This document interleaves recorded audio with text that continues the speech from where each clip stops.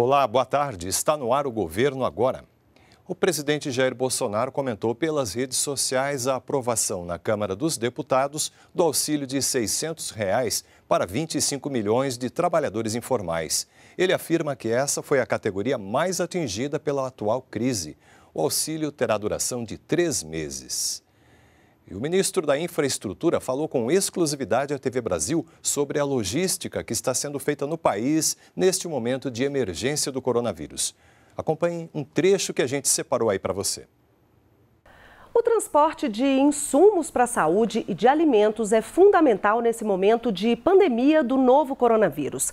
Eu converso agora com o ministro da Infraestrutura, Tarcísio Gomes de Freitas, que vem ajustando toda a logística para garantir que hospitais, farmácias e supermercados sejam abastecidos. O senhor vem conversando diariamente com todos os setores, aéreo, ferroviário, rodoviário. Qual que é o grande desafio nesse momento? O grande desafio foi ajustar os vários decretos estaduais e municipais de quarentena. Vários governadores e prefeitos estabeleceram bloqueios e fechamento de todo o comércio liberando, por exemplo, supermercados. Só que o supermercado não funciona sozinho. O transporte tem que funcionar para que a comida, para que o insumo chegue na prateleira do supermercado, para que o oxigênio chegue no, no hospital, né, para que o insumo para hemodiálise chegue no hospital, para que o combustível chegue ao posto.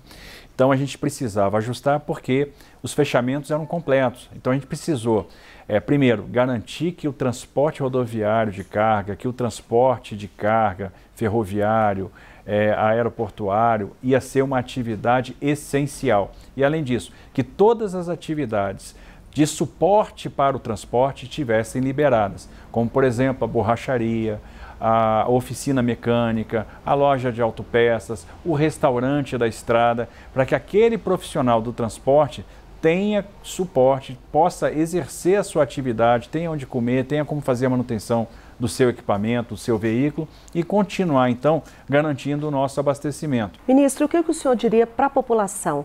Pode ficar tranquila quanto ao abastecimento? Pode ficar tranquila quanto ao abastecimento. O nosso sistema de transportes está funcionando. Nós não vamos deixar faltar um insumo, a comida na prateleira, o combustível, o medicamento. Então, nós vamos manter esse sistema funcionando para que isso ajude, de alguma forma, no enfrentamento da crise. A entrevista completa você encontra nas nossas redes sociais. Até a próxima edição.